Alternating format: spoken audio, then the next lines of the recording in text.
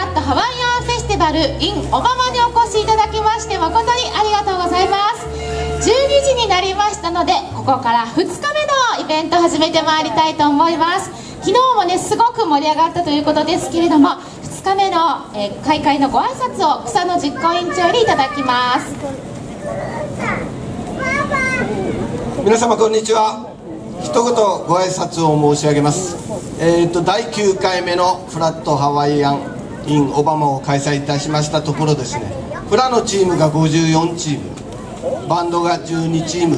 あのあ16チームだそうです。16チーム参加していただきまして誠にありがとうございます。多分あのいろんなフラのフェスティバルがあると思うんですが屋外でやるフラのフェスティバルとしては九州でナンバーワンだと自負をいたしております。今日はですね8時までやります。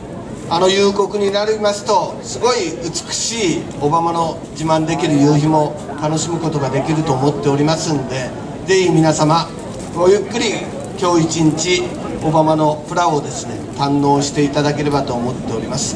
どうぞよろしく最後までお願いいたします。ありがとうございました。